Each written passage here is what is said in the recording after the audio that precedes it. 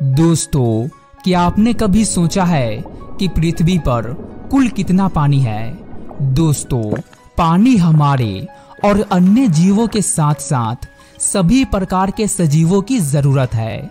यदि पानी न हो तो इंसान तो इंसान, बल्कि अन्य सभी प्रकार के सजीवों का पतन हो जाएगा। इसलिए ये जानना बेहद ज़रूरी है कि पृथ्वी पर कुल कितना पानी है। तो चलिए जानते हैं। दोस्तों, हमारी पृथ्वी का इकहत्तर प्रतिशत हिस्सा पानी से ढका हुआ है और बचे हुए उनतीस प्रतिशत हिस्सा पर स्थल है, जहाँ पर मानव और दूसरे जीव जंतु रहते हैं।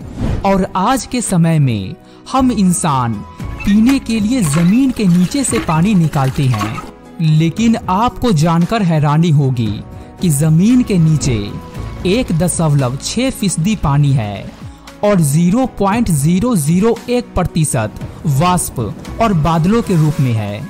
देखिए दोस्तों, पृथ्वी की सतह पर जो पानी है, उसमें से 97 परसेंट सागरों और महासागरों में है, जो नमकीन है और पीने के काम नहीं आ सकता है।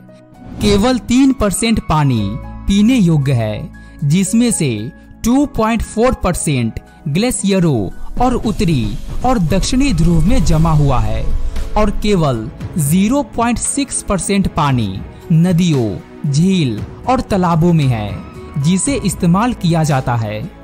एक अनुमान के अनुसार, पृथ्वी पर कुल 32 करोड़ 60 लाख खरब गैलन पानी है।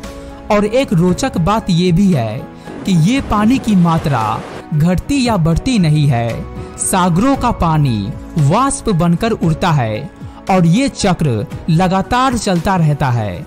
आप चित्र में देख सकते हैं। तो दोस्तों, इसी तरह के इंफॉर्मेटिव वीडियोस रोज़ाना पाने के लिए चैनल को सब्सक्राइब करें। धन्यवाद।